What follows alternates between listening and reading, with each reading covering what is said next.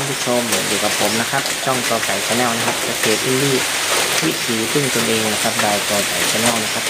วันนี้นะครับก็จะมาสวมบทช่างนะครับบทช่างเชื่อมช่างเชื่อมมือขนาดรุ่นนะครับ ก็อ่าเชื่อมได้นิดหน่อยนะครับ ไม่ถึงกับมืออาชีพนะครับใช้งานของตัวเองเชื่อมของตัวเองนะครับก็เคยเรียนรู้มานิดๆหน่อยๆนะครับตามการเรียนช่างนะครับแล้ววันนี้ก็จะมาเชื่อมนะครับเชื่อมโต๊ะนะครับโต๊ะวางต้นอ่อนทานตะวันนะครับ เพราะว่า ต๊ะเดิมเนี่ยนะครับ มันรู้สึกว่ามันจะไม่พอแล้วครับ เพราะว่าเราวางขาเพาะก้าผักด้วยนะครับขาเพาะก้าผักด้วยอะไรด้วยนะครับ ก็เลยว่าจะมาทำโต๊ะเพิ่มนะครับแต่พอดีมันโต๊ะมันเต็มพื้นที่แล้วนะครับก็ทั้งเพาะก้าผักด้วยแล้วก็วางต้นอ่อนทานตะวันนะครับ ตัวนี้มันอยู่ในร่มนะครับในร่มพรางแสงมันเหมาะที่จะเพาะต้นเพาะก้าผักมากกว่านะครับด้วยนะครับความสูงก็จะน่าจะอยู่ประมาณสักเจ็ดสิบถึงแปดสิบ เซนนะครับจากพื้นขึ้นมานะครับ ก็จะสะดวกในการทำงานนะครับไม่เมื่อยไม่ปวดหลังนะครับก็จะทำโต๊ะตรงนี้นะครับวันนี้ก็เลยมาเอาสิ่งเหล็กนะครับ จากโรงเห็ดเก่าที่พังชำรุดนะครับ ก็รื้อไปรื้อมานะครับ ก็วันนี้ก็จะเอามาตัดตัดเชื่อมเชื่อมๆนะครับนี่นะครับ เศษเหล็กที่ลื้อออกมาจากโรงเห็ดเก่านะครับ ที่โดนพายุนะครับ ก็จะเอาไปใช้ประโยชน์นะครับ อ่าไปจะไปทำโต๊ะนะครับว่าจะใช้อะไรได้บ้างก็ต้องมาหาเอาพยายามหาที่อ่าใช้ประโยชน์ได้นะครับ เอามาบางอันมันก็ต้องตัดต้องเชื่อมกันนะครับ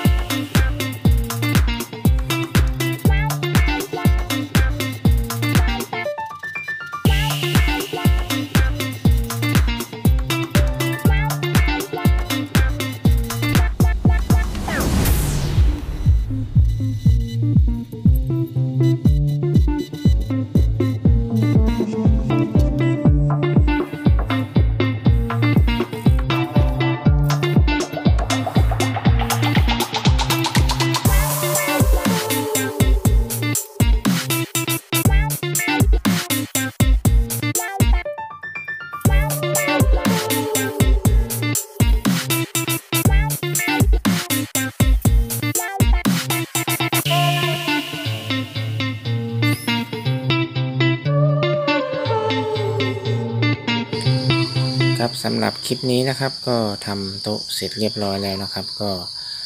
เอามาไว้วางต้นาถาดเพาะต้นอ่อนนะครับ ต้นอ่อนทันตะวันต้นอ่อนผักบุ้งนะครับ ก็วางได้ประมาณ 10 ถาดนะครับ ส่วนชั้นล่างก็จะไว้วางพวกภาชนะต่างๆนะครับใช้เศษเหล็กของเราเองนะครับ อันนี้ก็ยังเหลืออยู่ว่าจะทำอีกสักโต๊ะหนึ่งนะครับ แต่ว่าาทำทีละนิดทีละหน่อยนะครับ ตามกำลังเวลานะครับ โอเคนะครับสำหรับคลิปนี้ก็ขอบคุณ และรับชมนะครับถ้าเป็นประโยชน์นะครับ ก็ฝากกดไลค์กดแชร์นะครับ ติดตามช่องกอไก่ชาแนลด้วยนะครับ เกษตรอินดี้วิถีพึ่งตัวเองนะครับหมายกอไก่ชาแนลนะครับสำหรับคลิปนี้ก็ขอตัวลาไปก่อนนะครับผม สวัสดีครับ